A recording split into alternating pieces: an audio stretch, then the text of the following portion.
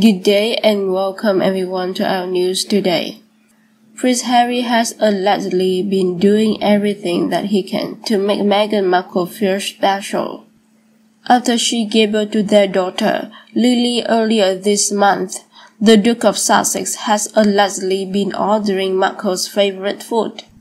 In its June 28 issue, Lifestyle claimed that the dad of two has also been serving his wife her favorite chai latte in bed.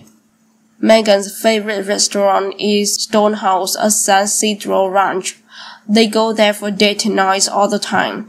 Harry arranged for them to deliver some of her favorite meals and wines to the house in Montecito, so they can sit outside with Lily and enjoy a nice dinner together from the comfort of their own backyard, the source said. After Lily's birth, Prince Harry and Markle have been making sure to also spend quality time with their son, Archie. The Duke of Sussex allegedly takes Archie out on bike rides and to go swimming.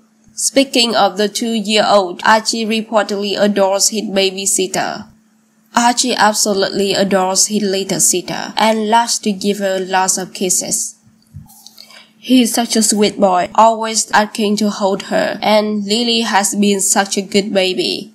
Harry and Meghan are just so in love with their little family of four, the source said.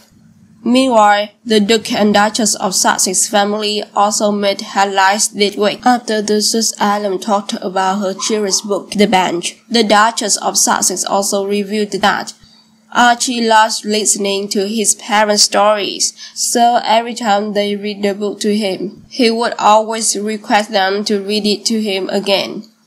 And that brings us to the end of the news today. Hope you enjoy it. Please Click the like and subscribe to our news channel for more. Thanks for listening and stay safe everyone. Good luck.